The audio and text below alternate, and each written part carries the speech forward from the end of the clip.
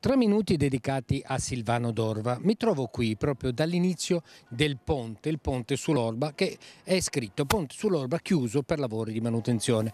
Ma non è un giorno, è già parecchi mesi e tutti i cittadini di Silvano Dorva dicono ma quando sarà finito questo ponte?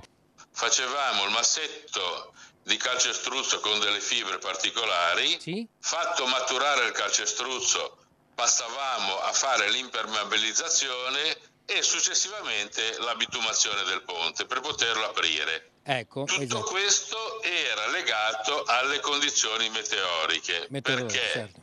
l'impermeabilizzazione non può essere eseguita se abbiamo una temperatura al di sotto di 5 gradi centigradi. Ecco.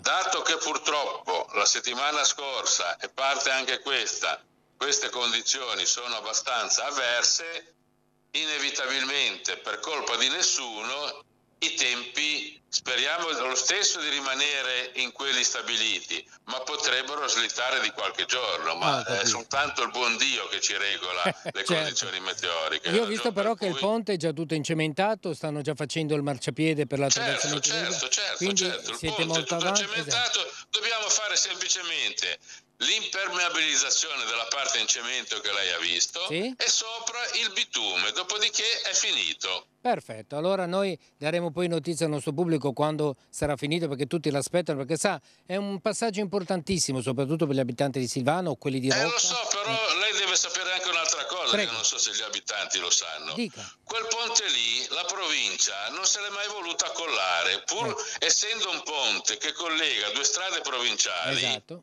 Il ponte è di proprietà, chissà perché, del comune di Silvano d'Orba. E il comune di Silvano d'Orba si è dovuto sbattere un sacco per trovare i soldi per metterlo a posto. Ecco. Fortunatamente li abbiamo avuti, ma abbiamo avuto anche queste, diciamo così, problematiche meteoriche che c'è. Cosa dirvi? Meglio di così, abbiamo avuto la voce viva di chi sta, ha progettato e sta mettendo a posto il ponte, quindi speriamo che questo ponte apra al più presto, ma noi vi terremo informati logicamente. Ci vediamo nei prossimi tre minuti. Ciao!